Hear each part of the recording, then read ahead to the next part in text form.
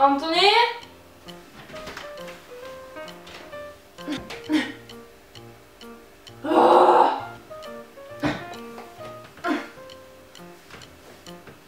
Anthony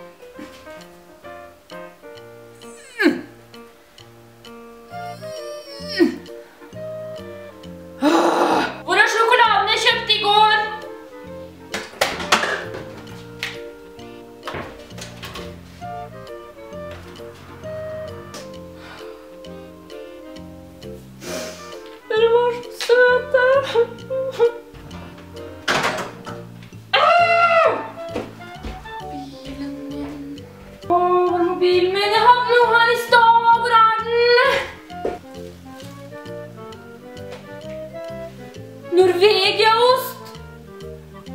Jeg fortalte deg at du skulle kjøpe Jarlsberg fordi jeg elsker Jarlsberg. Jeg syns ikke Norvegia er noe godt. Åh, du hører aldri på meg. Du bryr deg kun om hva du føler og hva du vil.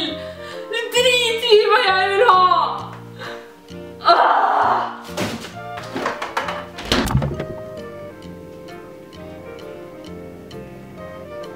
Åh, hvor er sjokoladen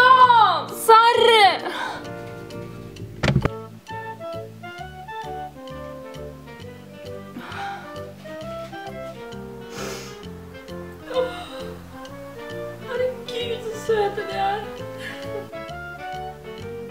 Ja, men herregud, katter bruker da ikke briller! Uansett hva du gjør nå, så irriterer du dritten ut av meg. Skal ha kjeft?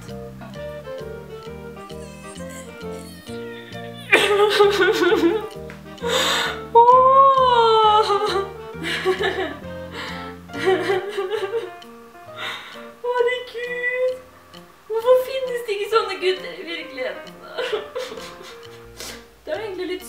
går opp på scenen og synger foran alle sammen, da, til henne, liksom.